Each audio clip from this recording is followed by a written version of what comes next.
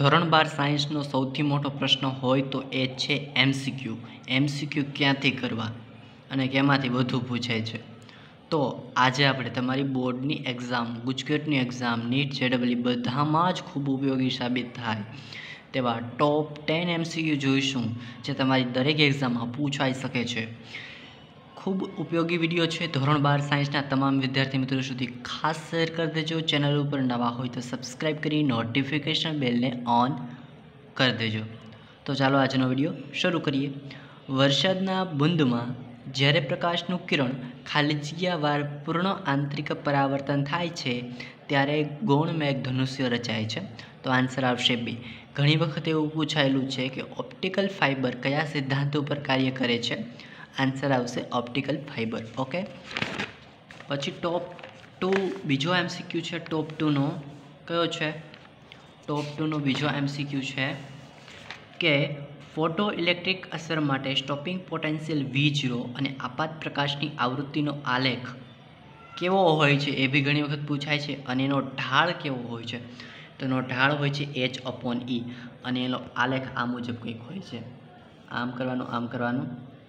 આમ, સુરેખા હોય છે મોસ્ટ ઓફ પછીનો ટોપ થ્રીમો ક્વેશ્ચન છે, વિદ્યુતની દ્રષ્ટિએ ફોટોન કેવો છે? મોસ્ટ ઇમ્પોર્ટન્ટ ક્વેશ્ચન છે, ઘણી વખત આપી પૂછાયેલો છે. તો વિદ્યુતની દ્રષ્ટિએ ફોટોન તટસ્થ છે, ઘણી વખત એક્ઝામમાં પૂછાયેલો છે. અને આપણે કમ્યુનિટી પોસ્ટમાં એક પોસ્ટ કરીશું ક્યુ એને વિશે. ક્યુ એને તમારા ક્વેશ્ચન મારા આન્સર એમાં તમારા કોઈપણ જાતના ક્વેશ્ચન હોય એ તમે પૂછી લેજો, બરાબર? એનો આપણે વીડિયો સ્વરૂપે તમારો આન્સર દેવાનો આપણે પ્રયત્ન કરીશું. જો તમારો સારો એવો રિસ્પોન્સ મળશે, તો અને કોઈ પણ જાતના, તમારે કોઈ પણ જાતના પ્રશ્નો હોય ને પૂછી લેજો ઓકે પછી ટોપ થ્રીમો ક્વેશ્ચન છે એમ એની ચાર ઘાત upon at epsilon zero square h cube upon સીનું પારિમાણિક સૂત્ર કયું છે? તો આ સૂત્ર કોનું છે? તો આ પ્લાન્કના અચળાંકનું સૂત્ર છે. કેનું છે? પ્લાન્કના અચળાંક. અને એનું સૂત્ર છે એલ ઇનવર્સ ઊંધું, આડું, અવળું, સીધું કરીને બોર્ડમાં પૂછેલો છે. ટૂંકમાં ઊંધું, આડું, અવળું કરીને બી બોર્ડમાં પૂછે છે. સીધી રીતે પૂછતા નથી. પછીનો મોસ્ટ ઇમ્પોર્ટન્ટ બીજો ક્વેશ્ચન છે ટોપ ટેનમાં નીચે પૈકી કઈ વર્ણપટ શ્રેણી પાર જાંબલી વિભાગમાં મળે છે? તો આન્સર આવશે લાયમન શ્રેણી. પછી ટોપ ટેનનો બીજો ક્વેશ્ચન છે કે ન્યુક્લિયર બળ કોની વચ્ચે લાગે? તો તમામ ન્યુક્લિયર ન્યુક્લિયસો વચ્ચે લાગે. આવી ક્વેશ્ચન ઘણી વખત એક્ઝામમાં પૂછાયેલો છે. અને આ ક્વેશ્ચન તો ઓછામાં ઓછું ત્રણથી ચાર વખત એક્ઝામમાં પૂછાયેલો છે અને સ્વાધ્યાયમાં પણ આપેલ છે.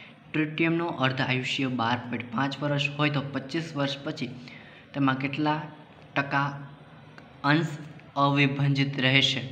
આને કઈ રીતે ગણવાનું? એનો વીડિયો આપણે ટૂંક સમયમાં અપલોડ કરશું. તમારે આની જરૂર હોય તો કોમેન્ટમાં જણાવી દેજો. જવાબ આવશે એકના છેદમાં ચાર.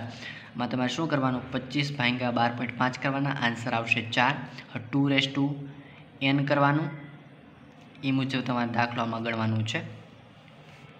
આમાં આપણે પછી આનો દાખલો ગણશું. પછી ટોપ ટેનમાં બીજો ક્વેશ્ચન છે.